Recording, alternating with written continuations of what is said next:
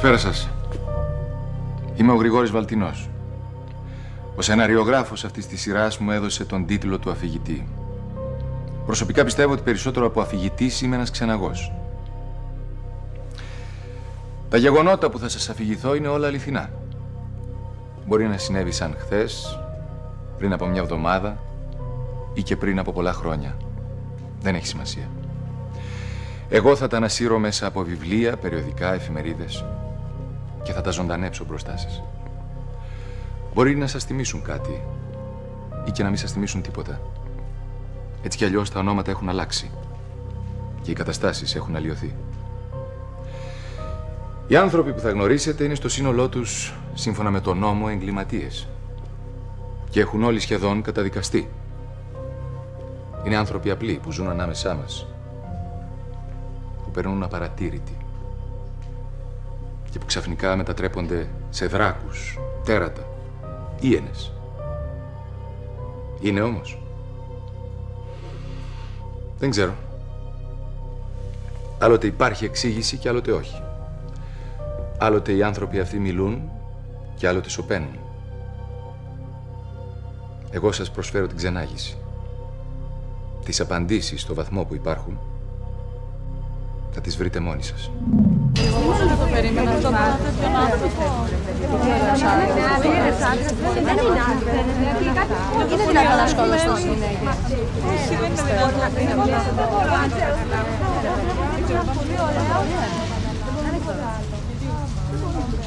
Το πιστεύω όπως το έκανε, παιδιά. Το έκανε. Σκότωσε όλες αυτές τις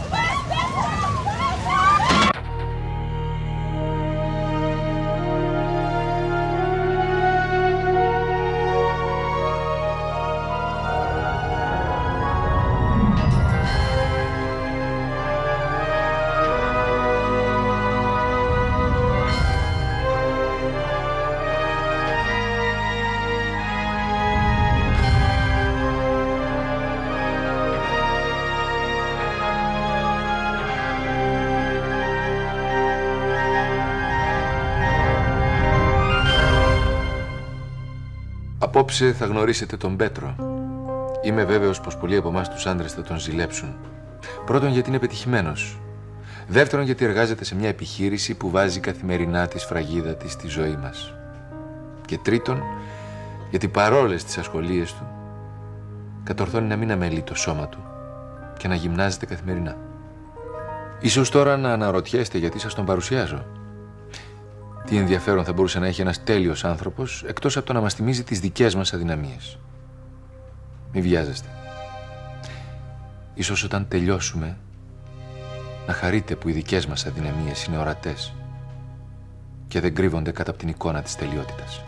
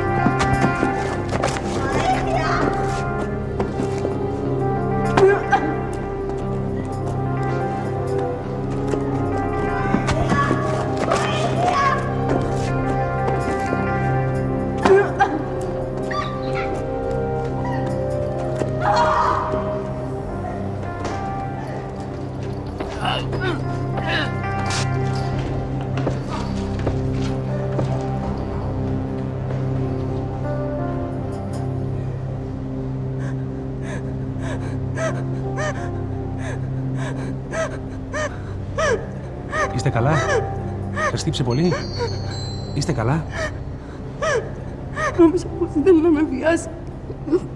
Μα ήθελε την τσάντα μου. Το αυτοκίνητό σας πού είναι; Έλατε, θα σας πάω εγώ. Ηρεμήστε. Ηρεμήστε. Ελάτε, ελάτε, ηρεμήστε τώρα. Περάσε. Πάει, πέρασε. Ήμουν τυχερή. Αν ήταν άλλος στη θέση σας, δεν θα μου δίνει σημασία.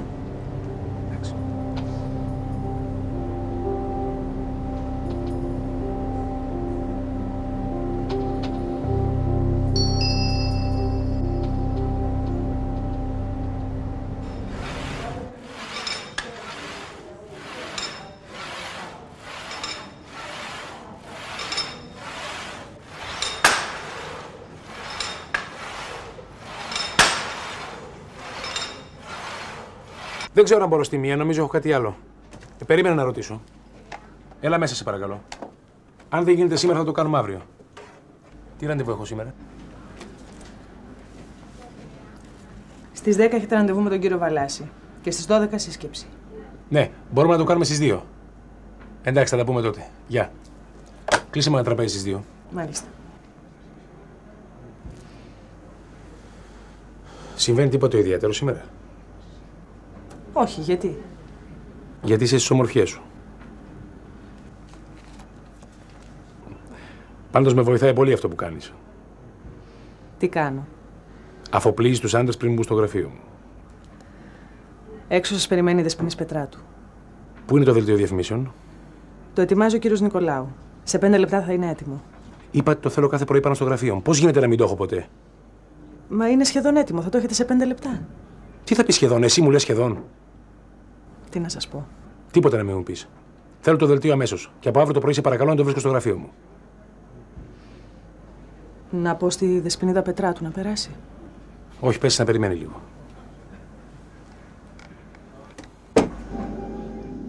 Τις πιο μικρές δεν τις θέλω εδώ. Πάρτε απόφαση. Έτσι θα είναι πάντα. Αυτές που θέλεις θα θέλουν κάποιον άλλον. Και θα σου την πέφτουν αυτές που δεν θέλεις.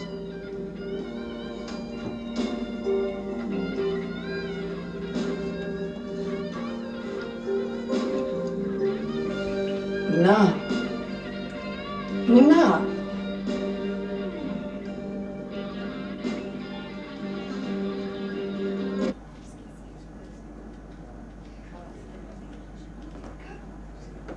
Καλημέρα σας κύριε Βρετέ. Καλημέρα. Πέρασε. Πέτρο. Πέτρο δεν πάει άλλο. Γίνονται απαράδεκτα πράγματα σε αυτό το σύριαλ. Αυτοί οι άνθρωποι είναι άσχετοι, άσχετοι. Τόσα χρόνια πρωταγωνίστρια, αυτό το πράγμα δεν μου έχει ξανασυμβεί. Έλα, Έμα, ηρέμησε. Δεν είναι τόσο τραγικά τα πράγματα. Πέρασε να τα πούμε. Όχι τώρα. Τώρα βλέπω ότι έχεις δουλειά. Άμα θες κάτι να μου πεις, παίρνω το βράδυ το σπίτι.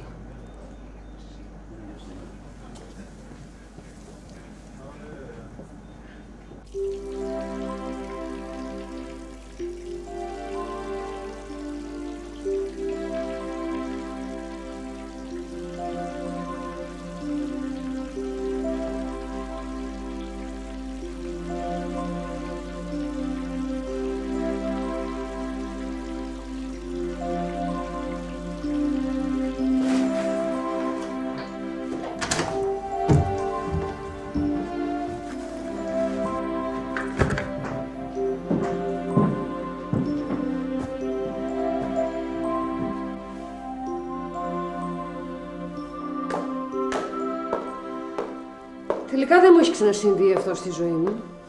Ειδικά με τους άντρες; Εσύ τα έχεις καταφέρει, μπράβο σου. Με κάνεις να αισθάνομαι σαν απόθεμα ασφαλείας. Κρατάω μόνο το ασφαλείας. Είσαι μια ασφάλεια για μένα. Το καταφύγιό μου. Ναι. Ναι, ξέρω. Μόλις εξαντλείς όλα τα περιθώρια με τις μικρούλες που σε πολιορκούν, καταλήγεις σε μένα. Τι θα γίνει με σένα. Πότε θα εκτιμήσεις αυτά που σου προσφέρω. Αλλά καλά να πάθω, αφού υποχωρώ πάντα. Θα έπρεπε να σε αφήσω να παίρνεις τηλέφωνο και να μην το σκόνω. Το σηκώνεις γιατί ξέρεις ότι στο τέλος θα γίνει το δικό σου. Νομίζεις;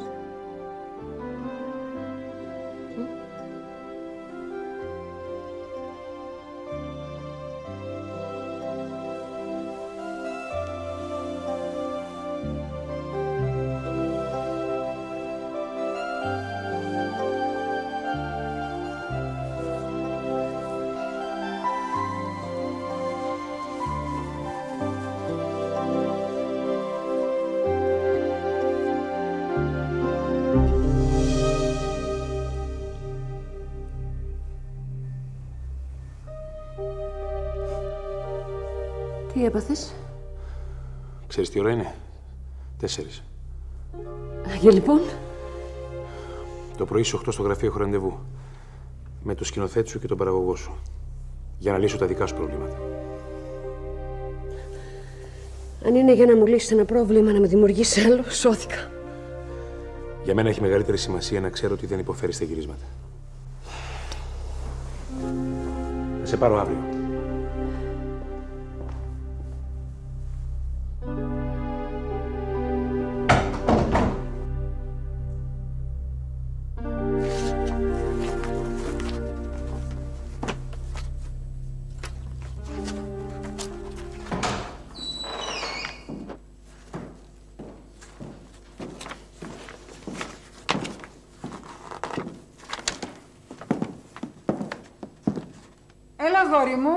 Είναι έτοιμα.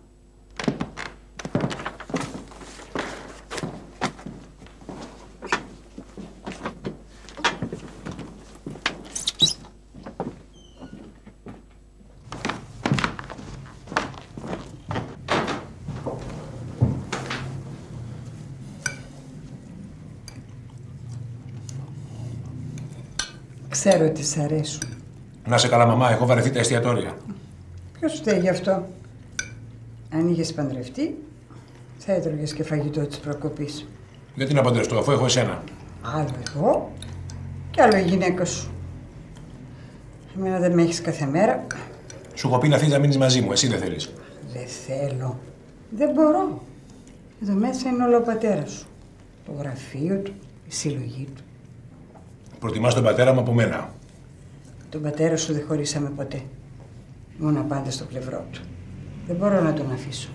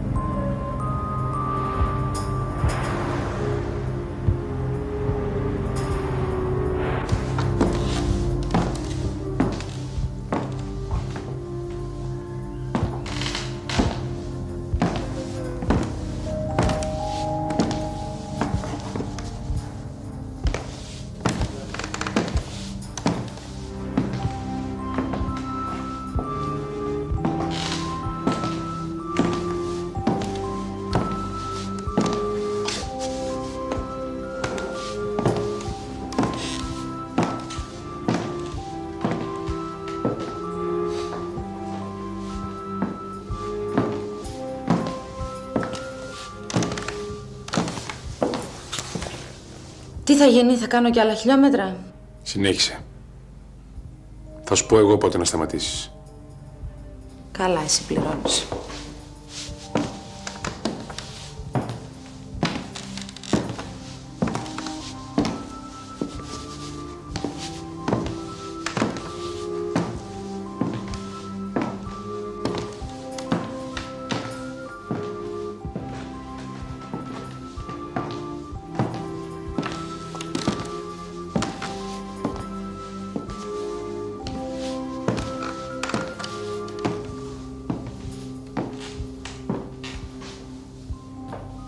Εντάξει, φτάνει.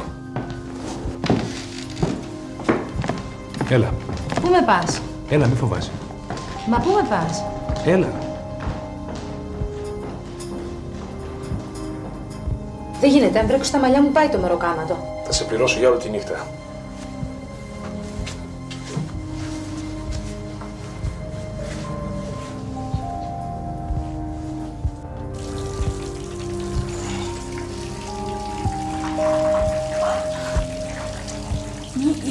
Μη ηρέμησε, μη βιάζεσαι, δεν μας κυνηγάει κανείς. Θα είμαι μαζί σου όλη τη νύχτα. Μη, μη, θα κάνω ό,τι θέλεις. Ηρέμησε. Ναι, μην ανησυχείτε. Θα τον ενημερώσω αμέσως.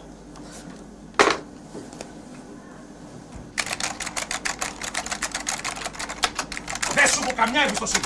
Ό,τι περνάει από το χέρι σου είναι στραβό και χρειάζεται επέμβαση. Μη μου λες ότι παρακολουθείς τα πάντα όταν αφήνεις να βγαίνουν στον αέρα τέτοιες ανοησίες.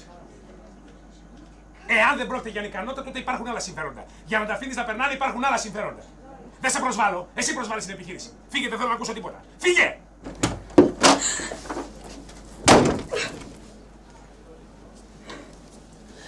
Λιάννα, τι συμβαίνει, τι έγινε; Ξέρεις πολύ καλά τι έγινε.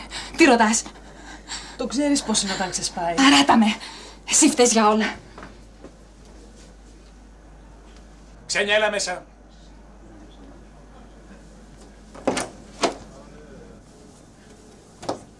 Θα πάρεις τώρα αμέσως τον πλαγιάκο και θα του πεις να σταματήσει. Για μας είναι τελειωμένη η ιστορία.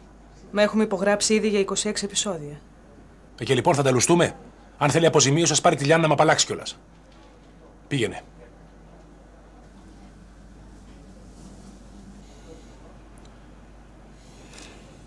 Περίμενε μισό λεπτό. Σου ζητώ συγγνώμη, αλλά τον τελευταίο καιρό έχω πολλά προβλήματα. Θα ήθελα να το κουβεντιάσουμε. Να βγούμε μαζί και να το κουβεντιάσουμε. Όπως θέλετε.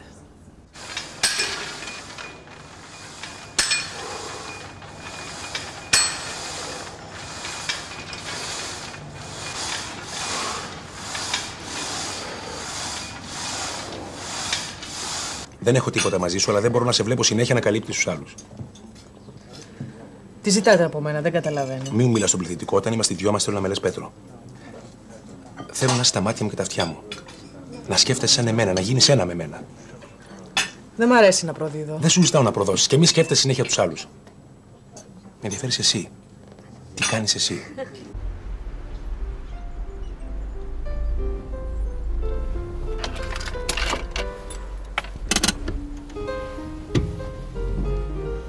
Όταν δεν σε πιάνουν οι κακίες σου, είσαι ο πιο γλυκός άνθρωπος του κόσμου. Γι' αυτό ήθελα να τα πούμε απόψε. Για να σου δείξω ότι με σένα θέλω να είμαι μόνο γλυκός. Και για να τα λέμε πιο συχνά. Αυτό εξαρτάται από σένα. Εσύ έχεις το πάνω χέρι. Δεν είναι αλήθεια ότι έχω το πάνω χέρι. Ξέρω ότι αυτό βγάζω προς τα έξω, αλλά δεν είναι αλήθεια.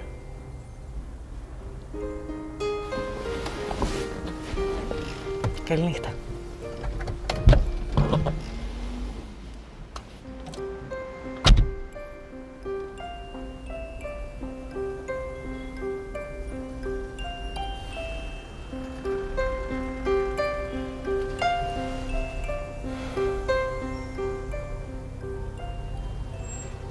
Όταν ερχόμαστε για πρώτη φορά σε επαφή με κάτι καινούριο, είτε είναι άνθρωπος είτε αντικείμενο, ψάχνουμε αμέσως να βρούμε τα ελαττώματά του. Και βέβαια χαιρόμαστε όταν ανακαλύπτουμε ότι δεν υπάρχει κανένα. Κανονικά θα έπρεπε να ανησυχούμε. Γιατί οι ορατές αδυναμίες είναι συνήθως οι πιο ανώδυνες. Αυτές τουλάχιστον τις ξέρουμε και μπορούμε να τις αντιμετωπίσουμε. Αντίθετα, οι αόρατες είναι πολύ πιο επικίνδυνες γιατί βγαίνουν ξαφνικά μπροστά μας. Οι αδυναμίες του Πέτρου ανήκουν στη δεύτερη κατηγορία. Όπως βλέπετε, η λία επιφάνεια αρχίζει ξαφνικά να παρουσιάζει ρογμές. Νέο πρόγραμμα το αργότερο από Ιανουάριο, αναθεώρηση ολόκληρη prime time ζώνη και εξασφάλιση άλλων δύο επωνύμων δημοσιογράφων για talk show. Ναι, Η κυρία Μάγκου είναι εδώ. να περάσει. Έμα, χαίρομαι πολύ που ήρθες. Αυτό θα φανεί στην πορεία, αγάπη μου. Κάτσε, Κωστή. Κάτσε, Κωστή. Γιατί αυτό το μυστηριώδες ύφος, τι είναι αυτό που θα φανεί στην πορεία; Το ξέρω ότι θα σε στεναχωρήσω, αλλά δεν γίνεται αλλιώς. Γι' αυτό υπάρχουν οι φίλοι για να τους στενοχωρούμε κάπου κάπου. Ε, Κωστή;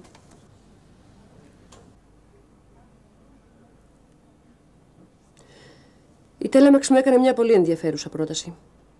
Και αποφάσισα να δεχτώ. Βέβαια, ζητούν αποκλειστικότητα για δύο χρόνια.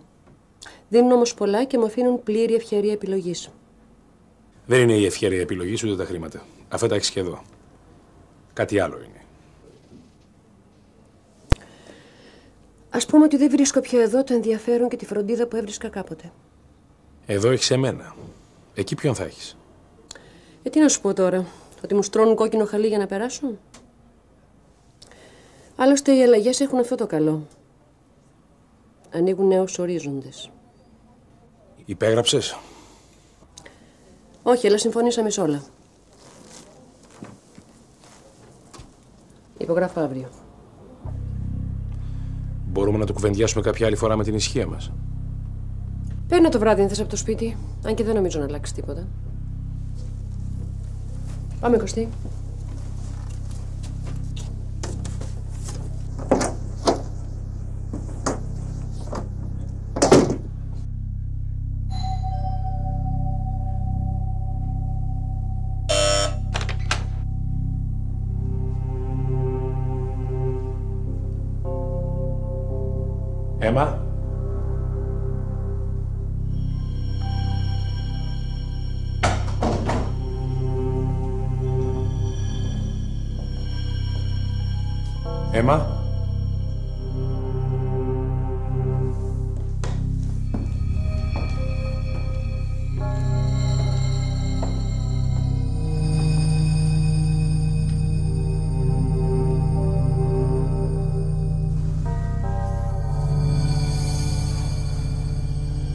Με συγχωρείς.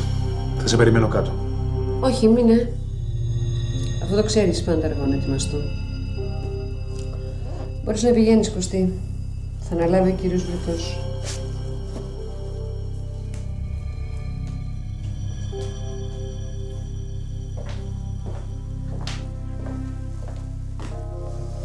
Θα κάνεις τον νεαρό να με μισήσει. Κωστής παίζει ακόμα βοβούς ρόλους. Το βλέπω. Εγώ θα αποφασίσω πότε θα πάρει τάκες. Πάνω σου. Θα πρέπει να τον ευχαριστήσω που μου παραχώρησε τη θέση του. Θα χρειαστούν πολλά ακόμα για να με κάνεις να αλλάξω γνώμη. Γιατί το κάνεις αυτό; Είμαστε τόσα χρόνια μαζί, γιατί μας αφήνεις; Γιατί δεν είμαι πια η μόνη. Υπάρχουν άλλες που τις φροντίζεις περισσότερο. Εγώ μπήκα στο σώρο.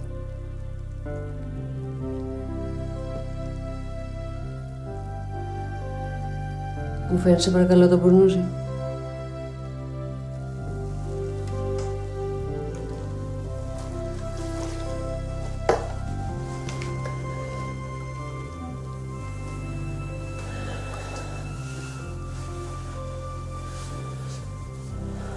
Τις άλλες απλά τις φροντίζω. Για σένα νοιάζομαι. Δεν βλέπεις τη διαφορά;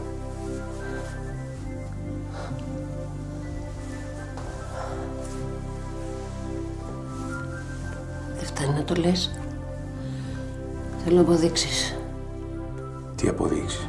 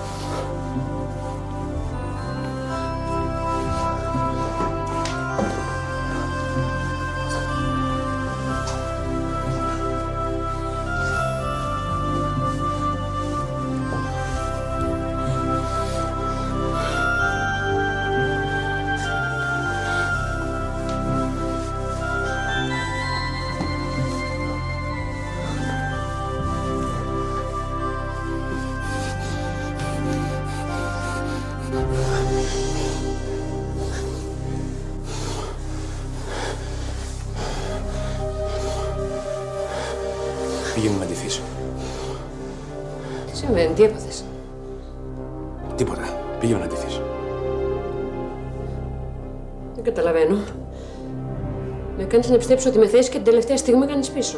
Τι συμβαίνει; Τίποτα.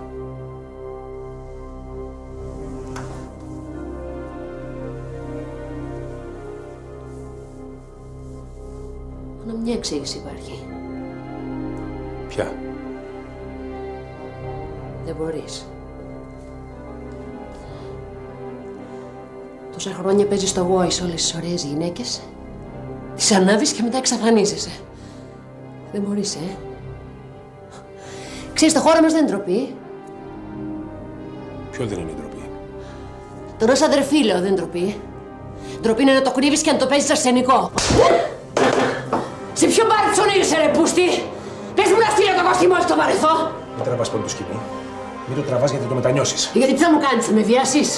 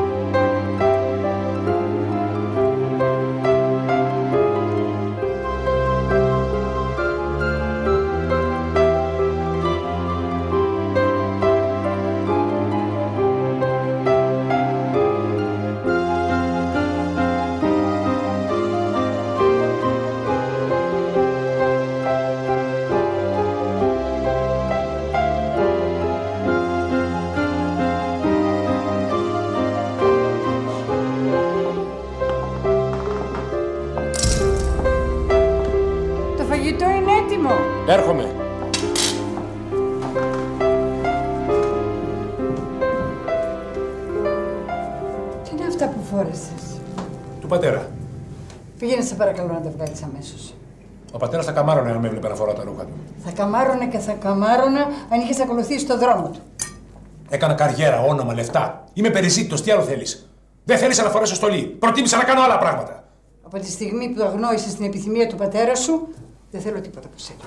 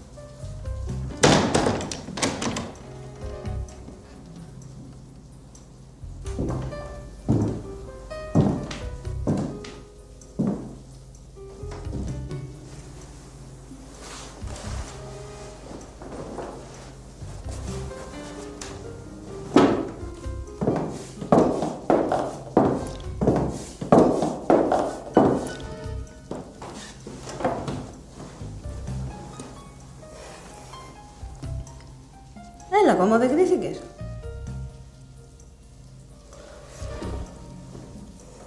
Έλα, μωρό μου, δεν πληρώνεις για να με κοιτάς.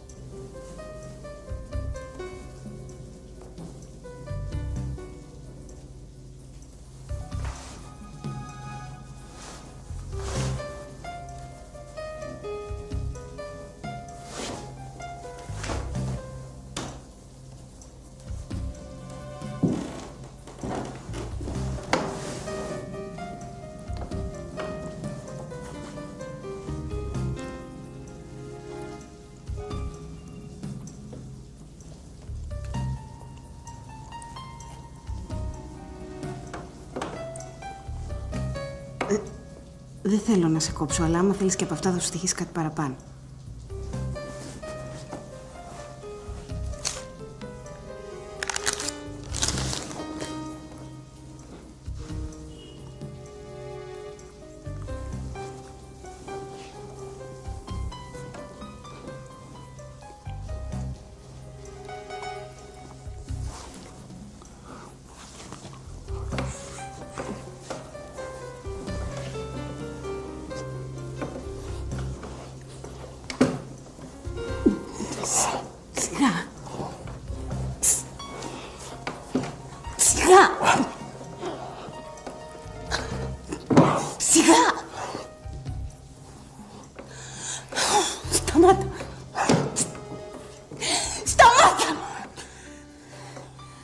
Ηρέμησε, αγόρι μου.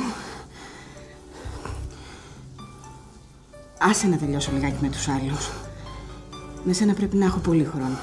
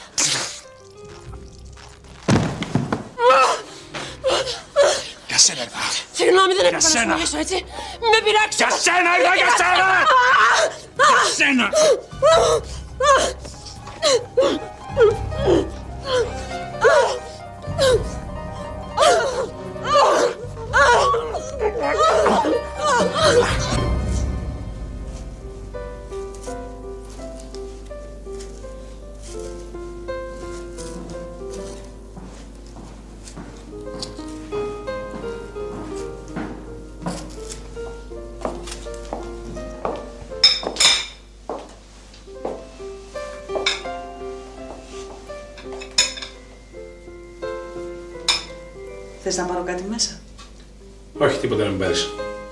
Θα τα φέρω όλα εγώ. Τότε θα πάρω μόνο το πλαίσιο.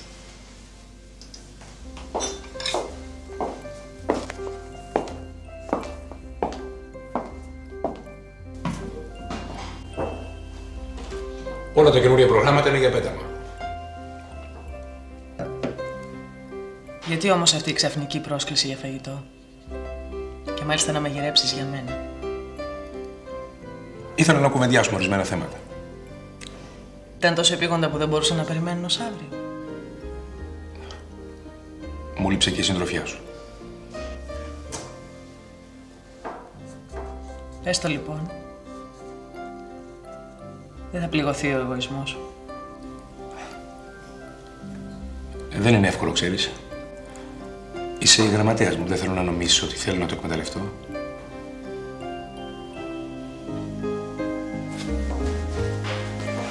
Έλα, Πού πάμε; πάμε μια βόλτα. Γιατί δεν μένουμε εδώ, είναι τόσο όμορφα. Έλα, έχουμε όλη τη νύχτα μπροστά μας, έλα.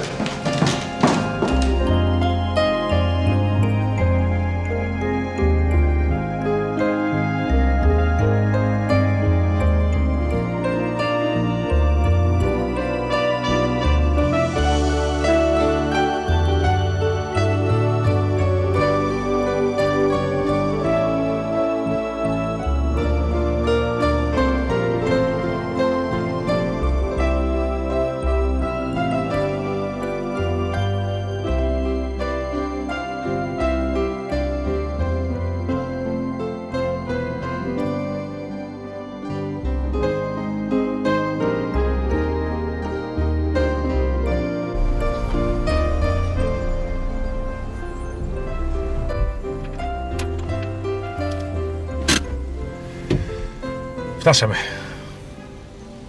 Ήταν πολύ όμορφα απόψε. Μαζί σου είναι πάντα όμορφα. Θέλεις να έρθεις επάνω για ένα τελευταίο ποτό; Ξέρεις τι ώρα είναι, τρεις. Δεν πειράζει.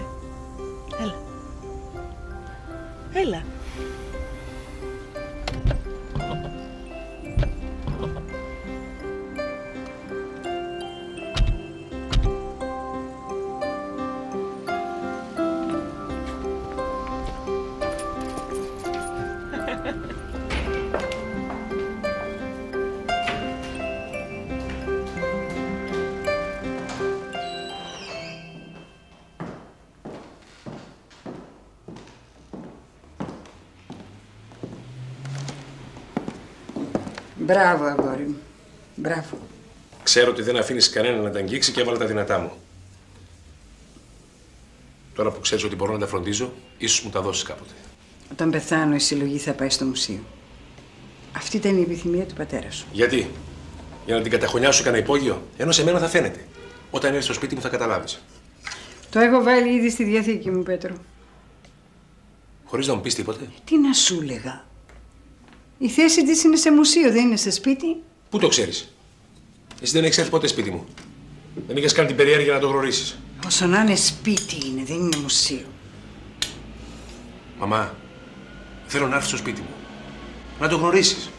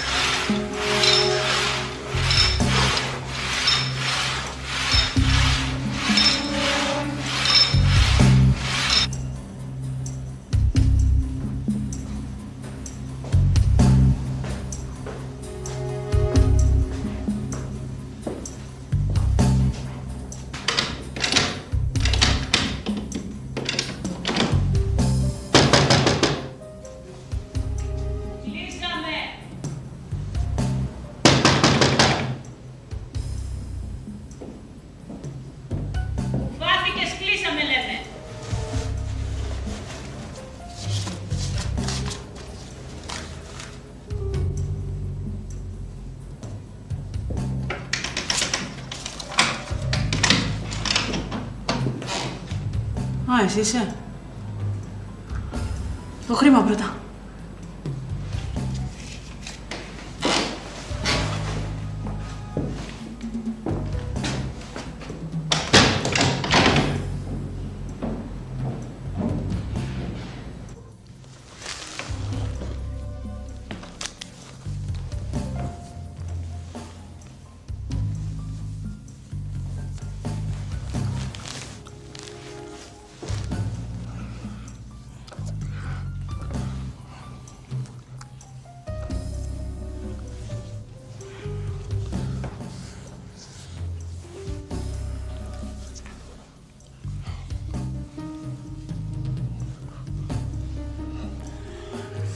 φτάνει που σε της υπομονής έρχεσαι και ανάποδες ώρες.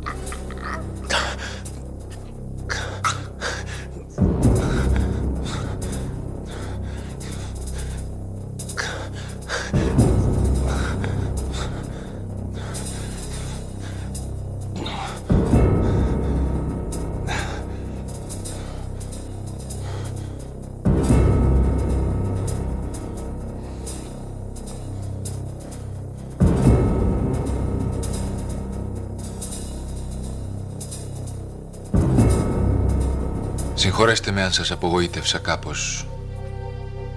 Ξέρω είναι δυσάρεστο να παρουσιάζει κανείς έναν τέλειο άνθρωπο και μετά να γκρεμίζει το είδωλο, αποκαλύπτοντας το άλλο του πρόσωπο. Το πρόσωπο του δολοφόνου. Ποιο είναι λοιπόν το πρόσωπο και ποιο το προσωπείο; Είναι ο δολοφόνος το αληθινό πρόσωπο του Πέτρου, που φόρεσε τη μάσκα του γοητευτικού ανθρώπου; Ή μήπως ο γοητευτικός άνθρωπος φόρεσε τη μάσκα του δολοφόνου. Το επεισόδιο αυτό αφήνει μερικά ερωτήματα. Σας συνιστώ να δείτε και το επόμενο. Ίσως εκεί βρείτε κάποιες απαντήσεις. Καληνύχτα σας.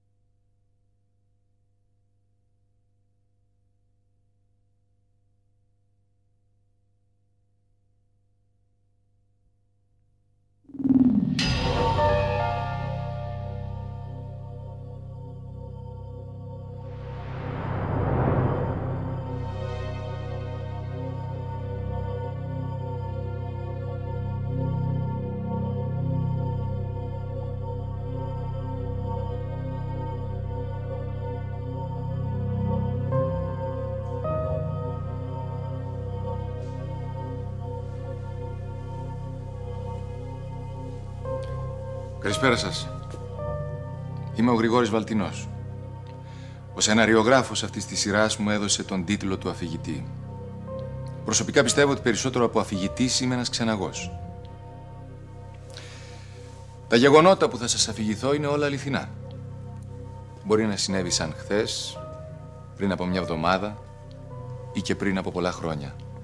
Δεν έχει σημασία.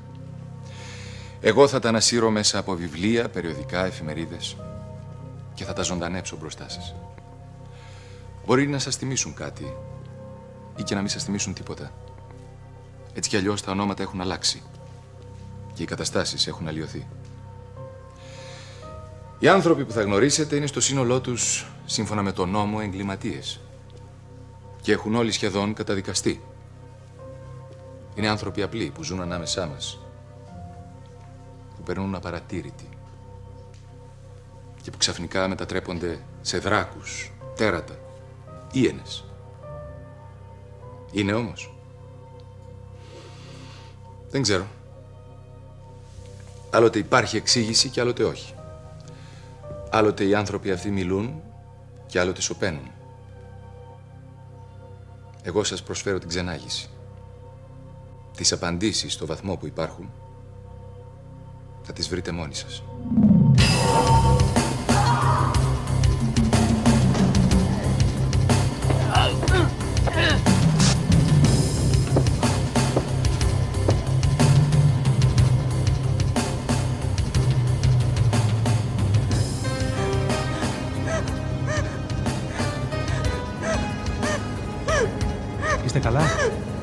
Συμβαίνει τίποτα ιδιαίτερο σήμερα; Όχι, γιατί; Γιατί είσαι στις ομορφιές σου.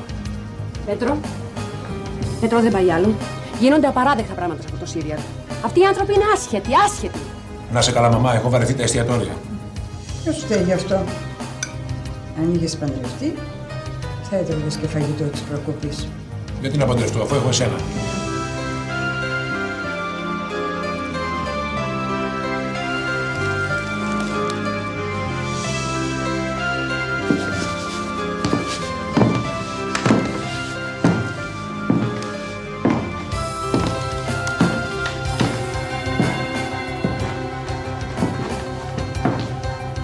Εντάξει, φτάνει.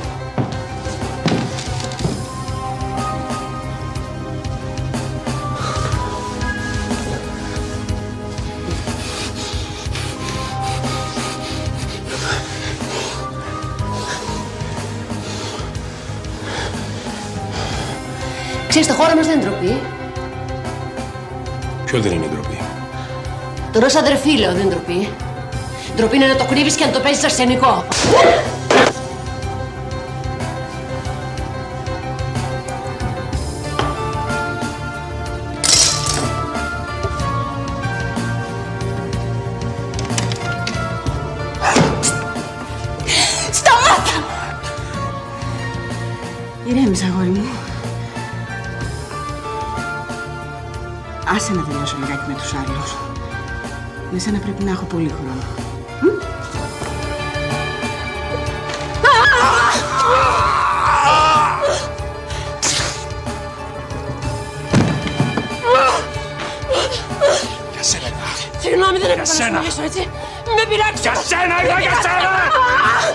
Μου λείψε και η συντροφιά σου. Έστω λοιπόν. Δεν θα πληγωθεί ο εγωισμός. Βοήθεια!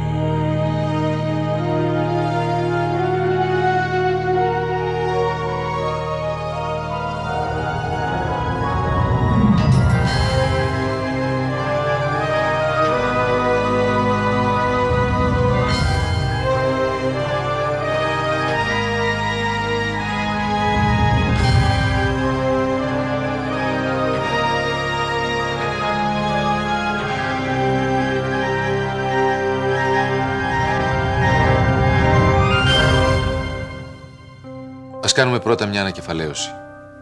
Αν θυμάστε, είχαμε γνωρίσει τον Πέτρο στην κορυφή της επιτυχίας του. Ένα τέλεχος επιχείρησης που δεν του έλειπε τίποτα.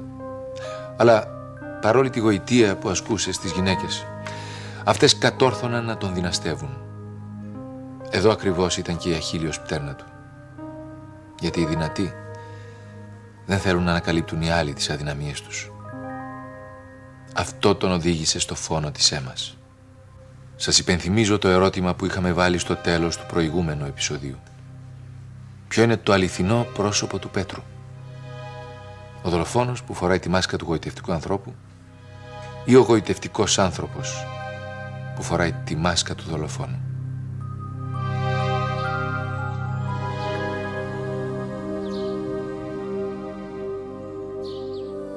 Ο θάνατος είναι ένας ρόλος. Ο μοναδικός ρόλος που όλοι θα κληθούμε να παίξουμε κάποια στιγμή. Υπάρχουν όμως ανάμεσά μας μερικοί ελάχιστοι πρικισμένοι που έχουν την τύχη και το προνόμιο να παίξουν πολλούς άλλους ρόλους πριν καταλήξουν σε αυτόν τον τελευταίο. Η Έμα Μάγκου είχε αυτή την τύχη και αυτό το προνόμιο. Μια ατέλειωτη πινακοθήκη από χαρακτήρες του θεάτρου, του κινηματογράφου και της τηλεόρασης απλώνεται μπροστά στα μάτια μας και βλέπουμε την αίμα να αγγίζει με τη μαγική της τέχνη τα πρόσωπα αυτά και να τους χαρίζει ζωή το ένα μετά το άλλο. Η οφιλία, διωγμένη από τον Άμλετ, κάθεται στην άκρη του ποταμού και πλέκει ανεμόνες στα μαλλιά της. Μα η αίμα δεν αφήνει την οφιλία να πεθάνει. Την κρατάει ζωντανή και σε λίγα χρόνια τη βλέπουμε ως μάσα μια από τις τρεις αδελφές του Τσέχοφ, καθισμένη στον κήπο να αποχαιρετά με σπαραγμό τον αγαπημένο της Βερσίνιν. Και ο σπαραγμός αυτός μετατρέπεται σε απελπισία και απόγνωση, όταν μετά από λίγα χρόνια συναντάμε πάλι την αίμα ως μπλάνς στην μπουά στο λεωφορείο Πόθος, αυτή τη φορά να αναζητάει απεγνωσμένα την αγάπη, που βρίσκεται πάντα τόσο κοντά της και πάντα της ξεφεύγει. Όλα τα μεγάλα έργα έχουν και ένα δολοφόνο. Και όλοι οι ηθοποιοί ζουν με το όνειρο να πεθάνουν κάποια στιγμή μπροστά στο κοινό. Όμως μεγάλοι ηθοποιοί είναι αυτοί που ξέρουν να πεθαίνουν. Αυτό ακριβώς έκανε και η Έμα. Με τη μοναδική της τέχνη έκανε αληθινό το θάνατο. Ο δολοφόνος έπαιξε το ρόλο του σε ένα μεγάλο έργο. Το έργο της Έμας. Και αυτή μετέτρεψε το θάνατο σε αυτό που ονειρεύεται ο κάθε ηθοποιός. Σε ένα ρόλο ζωής. Α τη χειροκροτήσουμε.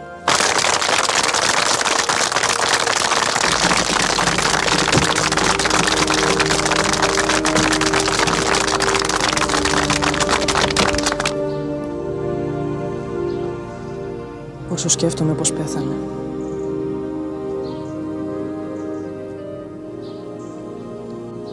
Οι άνθρωποι πεθαίνουν όπως ζουν.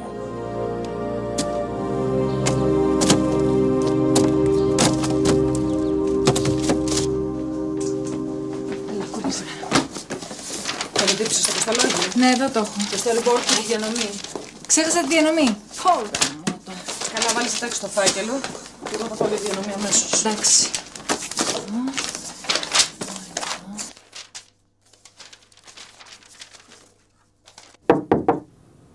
Ναι. Άργησες. Είχαμε πει στις 10. Συγγνώμη. Έψαχνα το κοστολόγιο. Η ξένια ξέχασε να μου το δώσει. Αυτή είναι η τελική τους προσφορά; Τι να σας πω, δεν ξέρω. Αυτό το κοστολόγιο μου έδωσε η ξένια. Δεν σε ρώτησα ποιος σου το έδωσε. Σε ρώτησα αν συζήτησες μαζί τους και αν αυτή είναι η τελική τους προσφορά. Σας είπα, αυτό μόλις τώρα ήρθε στα χέρια μου. Η ξένια το έχει ξεχάσει. Θα τους πάρω αμέσως να μάθω. Έλα μέσα, σε παρακαλώ.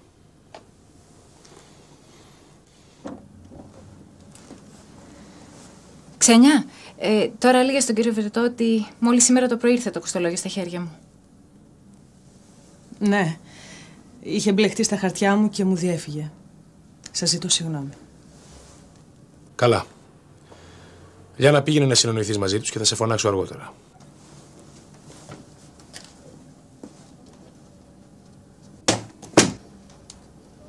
Γιατί μου είπες ψέματα; Δεν σας λέω ψέματα.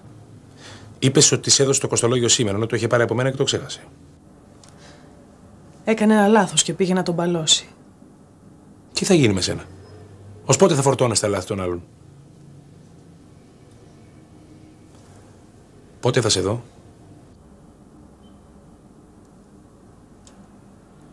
Από σένα εξαρτάται. Εσύ δεν ευκαιρείς ποτέ. Αύριο βράδυ σε μένα. Μια που σου αρέσει και η μαγειρική μου.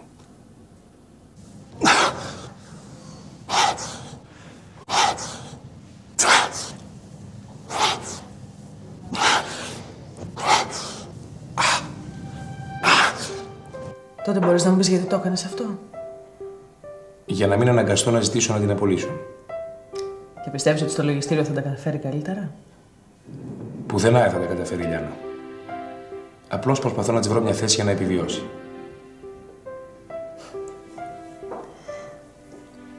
Κάπου κάπου σε πιάνουν η καλοσύνη σου. Το έκανα για σένα. Για να μην σε τρώνε οι τύψεις.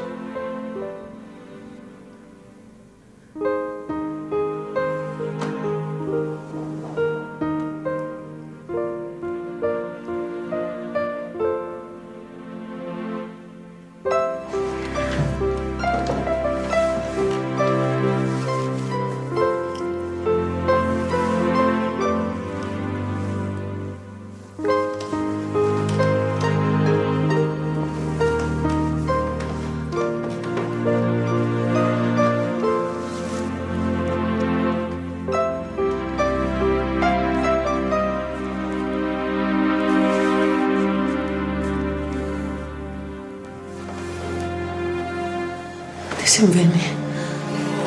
Τίποτα. Τότε γιατί; Δεν είναι η πρώτη φορά που με αποφεύγεις. Είσαι η ιδιαίτερα μου. Εξαρτάσαι από μένα. Έχω κάποιες αναστολές και χρειάζομαι χρόνο για να τις ξεπεράσω. Αυτό είναι. Αυτός είναι ο λόγος. Αυτός είναι. Αυτός είναι.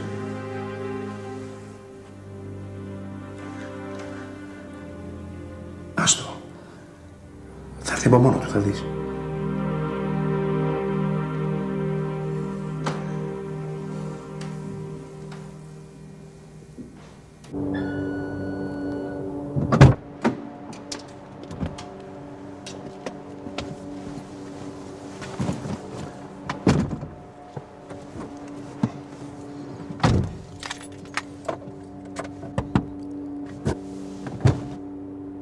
Τι συμβαίνει, Λιάννα; Μπορούμε να τα πούμε για λίγο. Δεν νομίζω ότι διάλεξε την πιο κατάλληλη στιγμή. Είμαι πολύ κουρασμένος τώρα. Σας παρακαλώ, δεν θα σας απασχολήσω πολύ.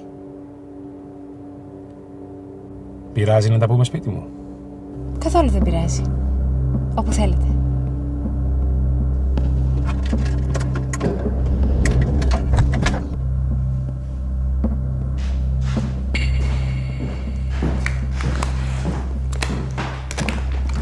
Σ' ακούω. Γιατί με μειώνετε διαρκώς, κύριε Βρετέ. Δεν σε μειώνω. Απλώς προσπαθώ να σου βρω την κατάλληλη θέση για να αποδώσεις. Ήμουν ιδιαίτερος και με πέταξε να πάρει στην ξένια. Τώρα με βγάζει από το πρόγραμμα και με στέλνεις κάτω στο λογιστήριο για να κόβω εντάλματα και επιταγές. Τι παραπάνω έχει ξένια από μένα; Μα δεν είναι ποσοτικό το θέμα. Απλώς η ξένια έχει ικανότητες. Τις δικές προσπαθώ να ανακαλύψω ακόμα. Δεν προσπάθησες αρκετά. Γι' αυτό. Γιάννα, παρεξήγησες. Εσύ παρεξήγησε νομίζω ότι η ξένια έχει περισσότερες ικανότητε από μένα. Δεν τρέπεσαι. Αν είσαι στην επιχείρηση, το χρωστάς αυτήν και εσύ την εξευτελίζεις. Δεν με νοιάζει η ξένια. Για μένα νοιάζομαι. Για τη Λιάνα, το κατάλαβες; Για μένα.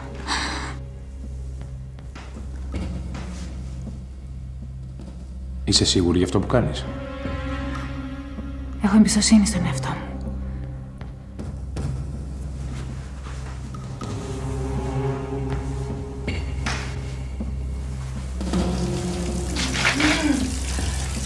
Τρελός. Θεό τρελός.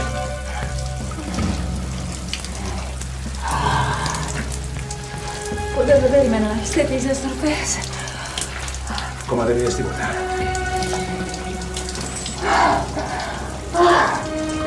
Είσαι τρελός. Λέω τρελός.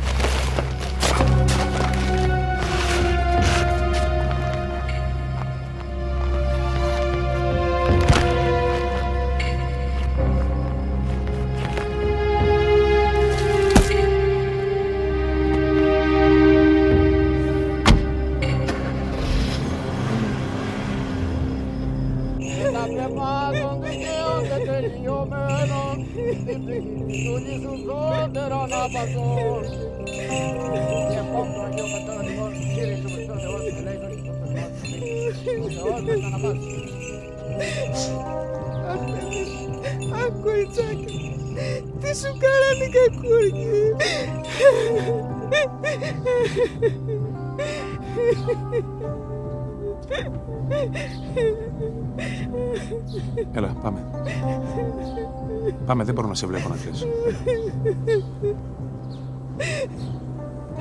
Αχ, παιδί μου. Αχ, τι σου κάνανε κακούργοι, κοριτσάκι σου. Αχ, λουλούδι μου, τι σου κάνανε.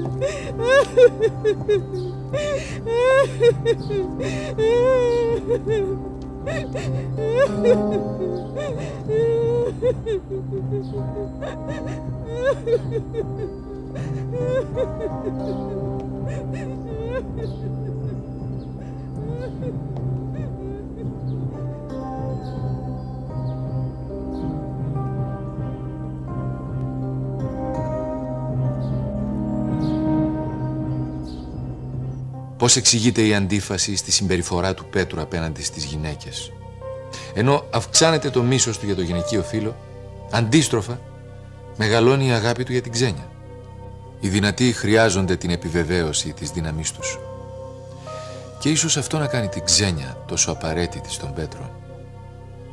Γιατί η ξένια αποδέχεται την ανωτερότητά του χωρίς παρεκκλήσεις, χωρίς αμφιβολίες. Και είναι ίσως η μόνη που θα μπορούσε να τον βοηθήσει αν ήξερε, αν της ανοιγόταν. Αλλά η σιωπή είναι η ασφάλεια των ισχυρών.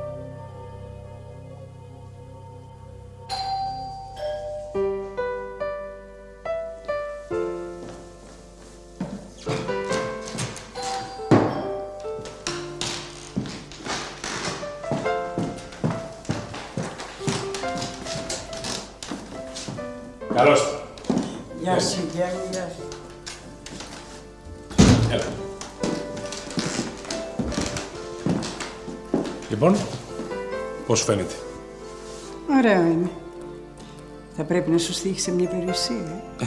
Βγάζω πολλά. Αυτό δεν σου λέω τόσα χρόνια. Τόσος χώρος. Τι τον κάνεις, είσαι ένας κούκος μόνος. Δεν θα είμαι πάντα μόνος. Μακάρι. Να το δω και να μην το πιστέψω. Έλα, σου μαγειρεύω, πάμε.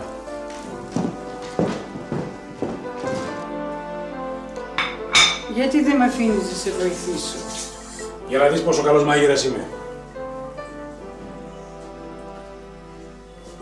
Τι έχεις; Δεν ξέρω. Ζαλίζομαι από το πρωί. Ένα φοβερό πονοκέφαλο. Πότε πήγες στο γιατρό; Τις προάλλες. Δεν μου βρήκε τίποτα. Ε, θα να τη συγκίνησης που ήρθε στο σπίτι. Ε, Δώσ' μου να κάνω κι εγώ κάτι. Έλα, πάρε τη σαλάτα, εγώ θα φέρω το φαγητό. Εντάξει.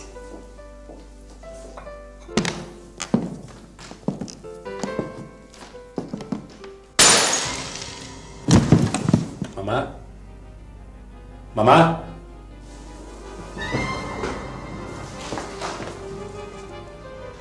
Μαμά. Μαμά. Μαμά. Μαμά. Μαμά, τι έπαθες. Μαμά.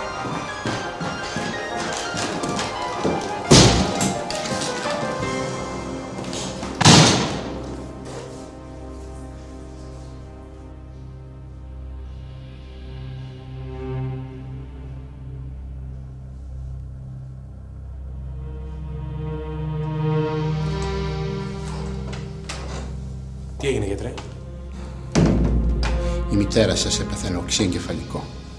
Πώς είναι τώρα; Λυπάμαι. Όταν τη φέρατε ήταν ήδη νεκρή. Κουράγιο.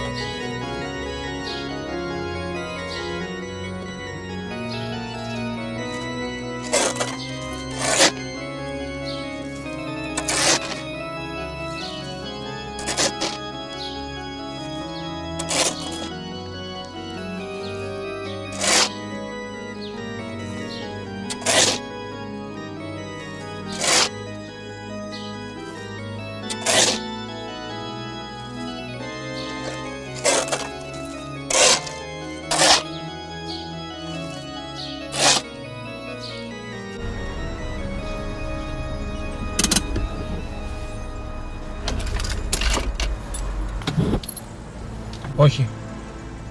Θέλω να μείνω μόνος. Άσε με να έρθω μαζί σου. Είπα θέλω να μείνω μόνος.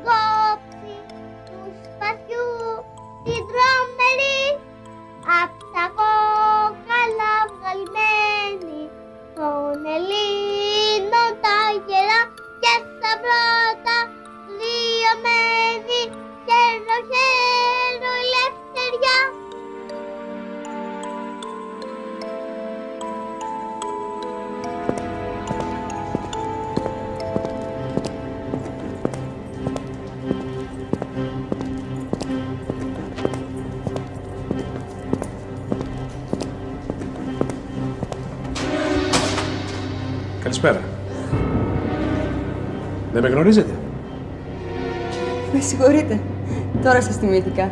Είστε αυτός που Που έδιωξε τον κλέφτη. την προηγούμενη φορά δεν φορούσα αντιστολή. Γι' αυτό δυσκολεύτηκα να σας γνωρίσω.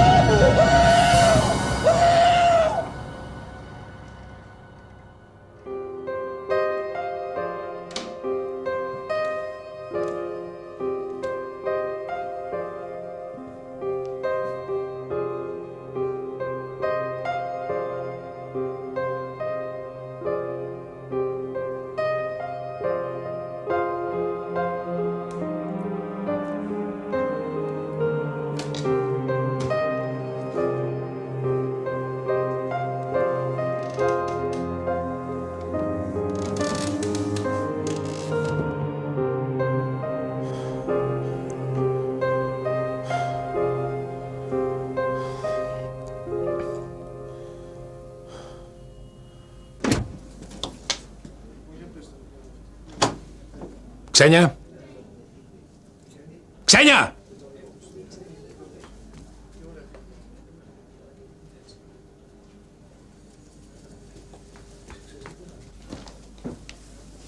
Ποιοι είναι αυτοί, τι θέλουν; Κάνουν κάποιες ανακρίσεις για τους φόνους. Θα περιμένω πολύ ακόμη. Πώς γίνεται και δεν βρίσκω τίποτα έτοιμο στην ώρα του; Συγγνώμη. Αλλά μου το ζητήσατε μόλις πριν ένα τέταρτο. Δεν έχει σημασία πότε το ζήτησα. Όταν ζητάω κάτι θέλω να το βρίσκω αμέσως. Αν δεν μπορείς να τα βγάλεις πέρα, να μου το πεις να πάρω άλλη.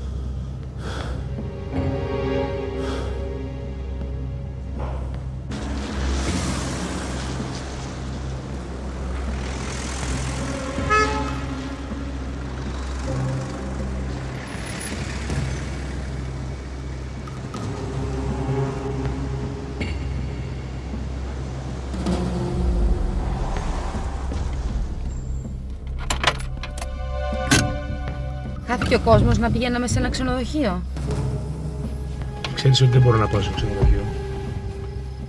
Γλίδωσα από τα φαντάρια και μπήκα στο επιτελείο. Κάτι είναι γι' αυτό.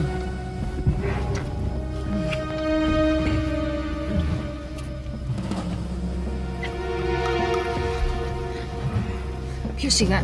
Ηρέμησε. Πιο ήρεμα.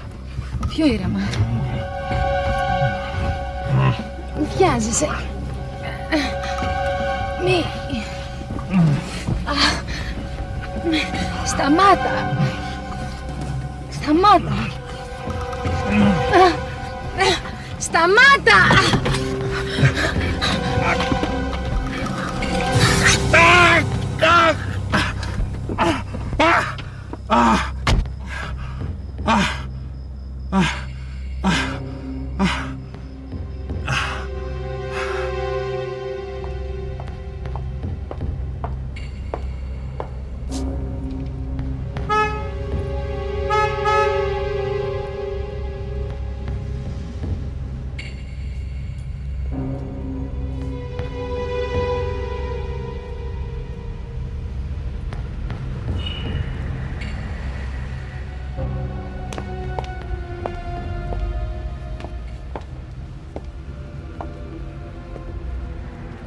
Θέλω να σου μιλήσω.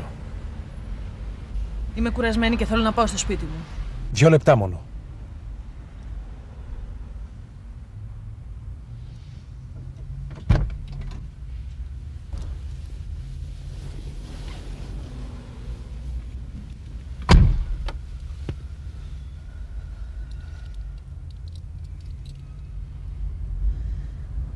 Στο γραφείο μου βάζει συνέχεια τις φωνές.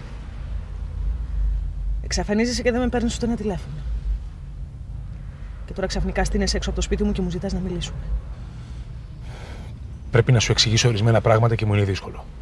Ενώ σου είναι πιο εύκολο να με λες ανίκανη και να με ξεφτελίζεις. Μη μ' αγγίζεις. Τι είπες; Είπα δεν θέλω να μ' αγγίζεις. Σε ενοχλεί που σε αγγίζω; Με ενοχλεί γιατί παίζεις μαζί μου. Τη μια είσαι ολογλίκες και την άλλη μου φέρεσαι σαν σκουπίδι. Τα έχω χάσει μαζί σου, δεν ξέρω γιατί τα κάνεις όλα αυτά. Αύριο βράδυ θα αλλάξουν όλα. Θα δεις. Θα καταλάβεις, θα βρούμε μια άκρη. Δώσε μου μια ευκαιρία, σε παρακαλώ.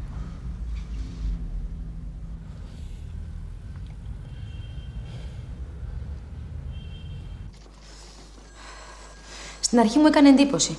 Αξιωματικός και να ψωνίζει γυναίκε στο δρόμο, πρώτη φορά μου συμβαίνει. Τι αξιωματικός ήταν; Πού θέλετε να ξέρω εγώ από αυτά; Είχε δύο άστρα και δύο σπαθιά. Και είχε και μακριά μαλλιά. Στρατηγός μακριά μαλλιά. Πλάκα μου κάνεις; Όχι, αλήθεια σας λέω. Μάλιστα κάποιον μου θύμιζε. Και γι' αυτό το λόγο τον κοίταγα πολλή ώρα. Σπάω το κεφάλι μου να θυμηθώ με ποιον μου έμοιαζε, αλλά δεν μπορώ.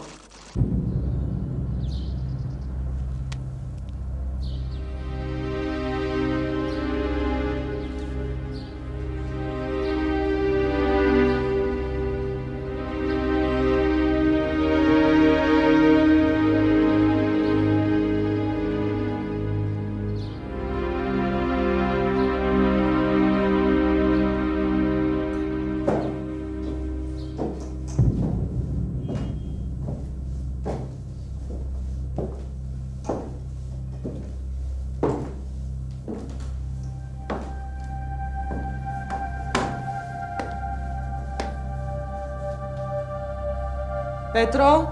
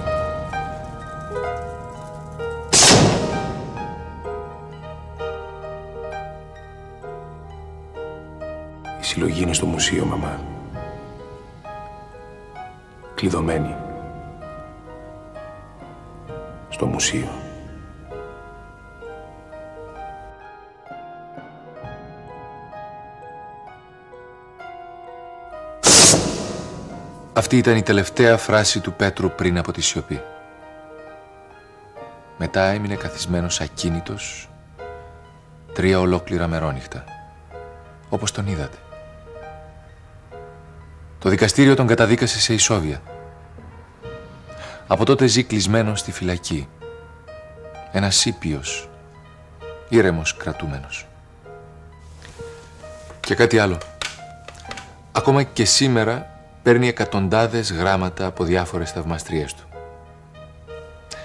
Ίσως τα γράμματα αυτών των θαυμαστριών να πείθουν ότι ο Πέτρος ήταν ένας γοητευτικός άνθρωπος που κάποτε φόρεσε τη μάσκα του δολοφόνου.